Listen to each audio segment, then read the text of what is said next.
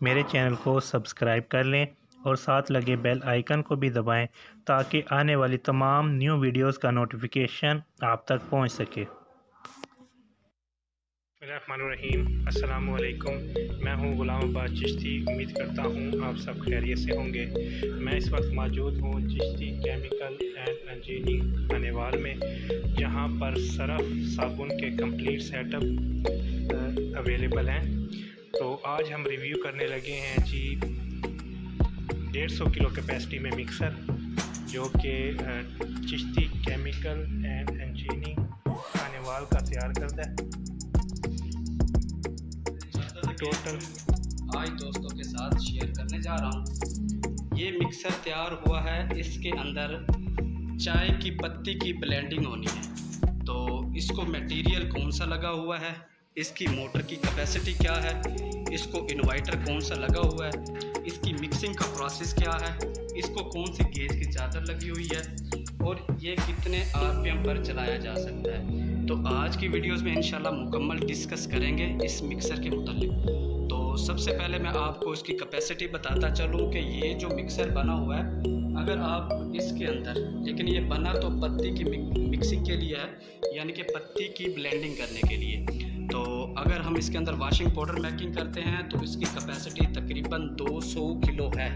यानी कि ये मिक्सर अगर आप इसके अंदर पाउडर फार्म में कोई भी चीज़ मेकिंग करते हैं तो तकरीबन 200 किलोग्राम आप इस मिक्सर के अंदर पाउडर फार्म में चीज़ मिक्सिंग कर सकते हैं। अगर आप इसके अंदर पत्ती की ब्लेंडिंग करते हैं तो पत्ती तकरीबन आप इसके अंदर 100 किलोग्राम इसके अंदर आप पत्ती की मेकिंग करके इसकी ब्लेंडिंग कर सकते हैं। तो ये मैं आपको अंदर से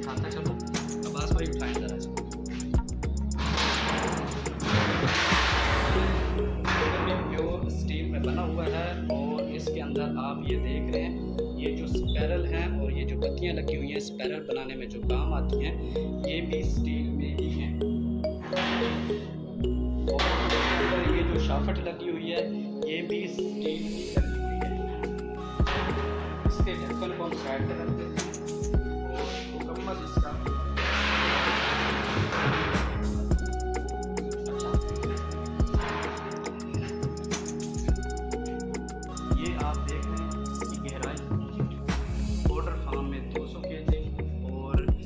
की पत्ती की ब्लेंडिंग के लिए एक सौ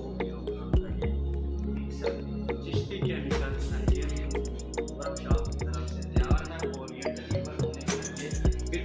है तो मैंने सोचा डिलीवर करने से पहले सब दोस्तों के साथ एक मिक्सर की रिव्यू के मतलब बताया जाए।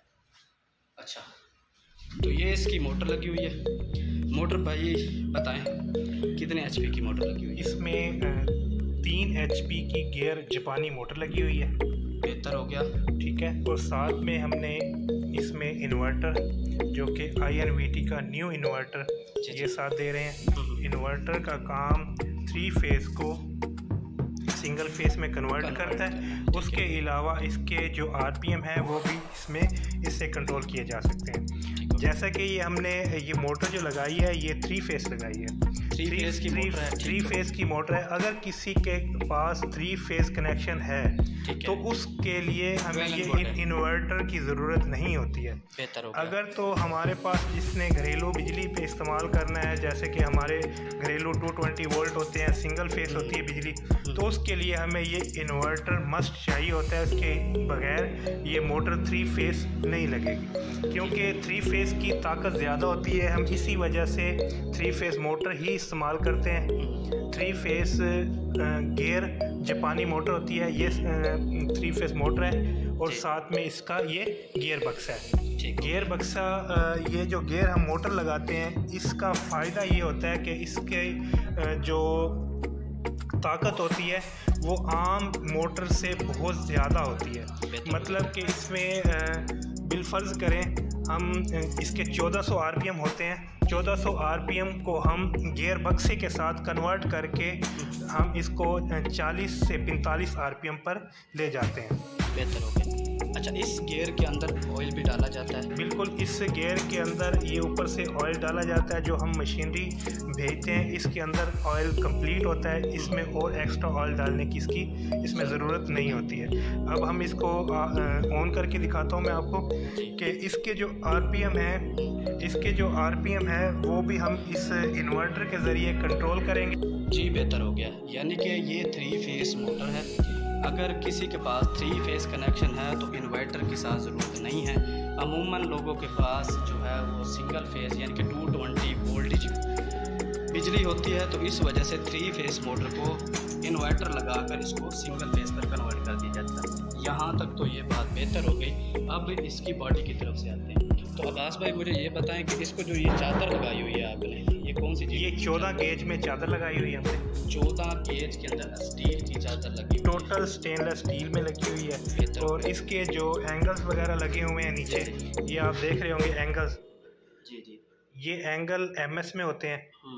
क्योंकि इसमें स्टील में ताकत नहीं होती है। ठीक हो गया। कि हम अगर इस मिक्सर को स्टील के एंगल्स अव्वल तो वो होते ही नहीं है। यानी कि उसके इसका ढांचा क्या है कि ढांचे के ऊपर जो ढांचा है वो हम एम एस बनाते हैं क्योंकि ये लगा हुआ है मेरा ख्याल है इसको बोलते हैं आप चैनल चैनल बोलते हैं। यानी कि तीन इंच का साथ लगा हुआ है। तीन इंच का चैनल लगा हुआ है। ठीक हो गया। साथ में मोटर मोटर भी आपने चैनल जी मोटर भी चैनल के ऊपर लगी हुई है। अच्छी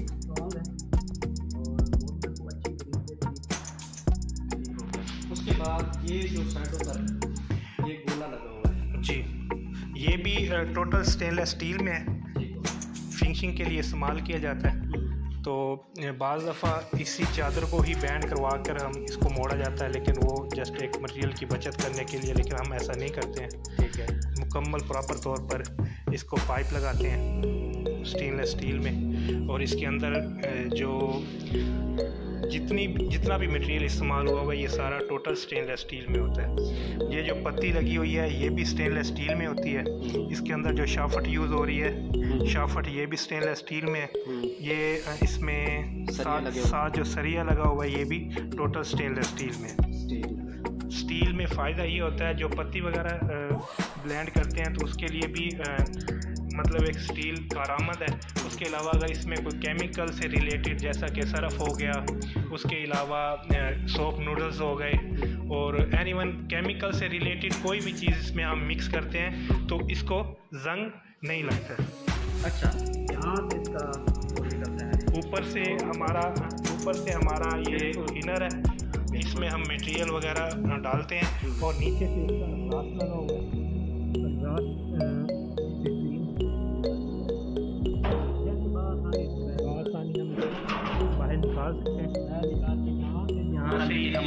मटेरियल पाए अच्छा ये तो ये भी स्टील ये टोटल स्टेनलेस स्टील है।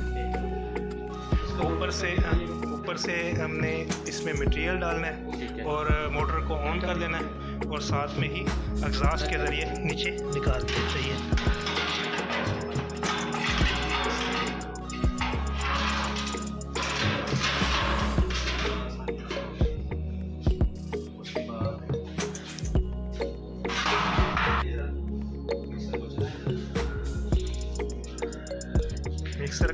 का है बाकी इसके जो कनेक्शन है वो हमने वो हमने कर दिए कि कर दिए। टू ट्वेंटी वोल्ट घरेलू बिजली पे। इन्वर्टर को ऑन करेंगे। करने के बाद यहाँ पर इसका वारियम मीटर है। ये इसकी तार हैं। तार को जो है।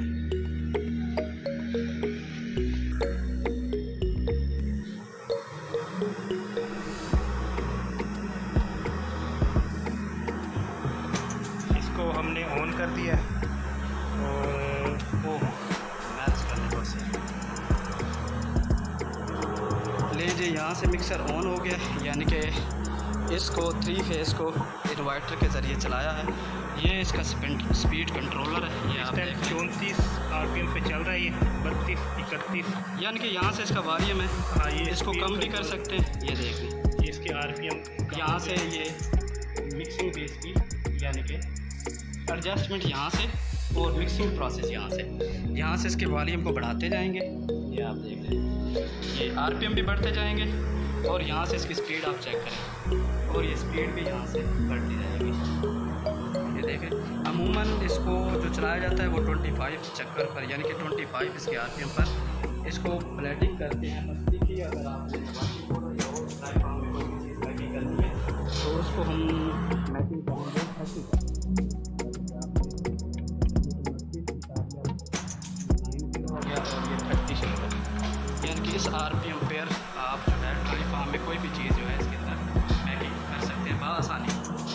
अच्छा अगर आपका कुछ मटेरियल ऐसे हैं जो आप चाहते हैं कि मटेरियल जो है हमारा अच्छी तरह मिक्स भी हो जाए और इसकी आर पी एम जो है, वो भी कम हो जाए तो आर पी एम को कम करने के लिए ये इन्वर्टर और ये इसका होगा स्पीड कंट्रोलर ये स्पीड कंट्रोलर इसको आप कम कर दें।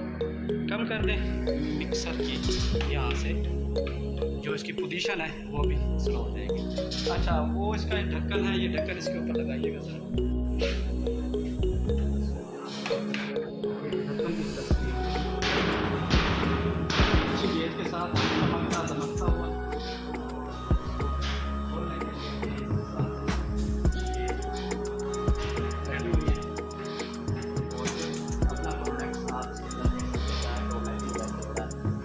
ऊपर है। आप उतारते जाएँगे। लेमिनेशन हुई हुई है। उतारते जाएँगे और नीचे से आप चमकता दमकता हुआ आपके सामने आपका फेस यानी कि आपका फेस इसके अंदर आसानी नज़र आएगा। ये जी मोटर हैं ज़बरदस्त और सिंगल फेस पर चल रही हैं। और भी हर तरह के मिक्सर यहाँ पर बनाए जाते हैं। जैसा कि वीडियो में आप देख रहे हैं ये इसकी कैपेसिटी तकरीबन मेरा ख्याल है। डेढ़ सौ के जी कैपेसिटी में। तकरीबन कितनी इसकी कैपेसिटी बनाई डेढ़ सौ के जी ये डेढ़ सौ किलो में है। लेकिन इसकी हाइट ज़्यादा है ये हाइट कम है। हर बंदा अपनी साथ में ये ग्रेडर है। जो कि सरफ़ के लिए इस्तेमाल होते हैं। सरफ़ को मिक्सिंग के बाद इसके अंदर से गुजारा जाता है ताकि इसमें जो डली वगैरह है, वो तोड़ी जा सके। ग्रेडर भी इस time Chishti chemical engineering Khanewal के तैयार करदा। ये भी अवेलेबल पड़े हुए हैं और ये मिक्सर कैपेसिटी वाइज तीस किलो कैपेसिटी में, तीस किलो कैपेसिटी में मिक्सर, ये अस्सी किलो कैपेसिटी में मिक्सर, पचास किलो कैपेसिटी में मिक्सर ये सब अवेलेबल है। नेक्स्ट वीडियो तक के लिए अपना बहुत सारा ख्याल रखिएगा, दुआओं में याद रखिएगा। अल्लाह हाफिज़।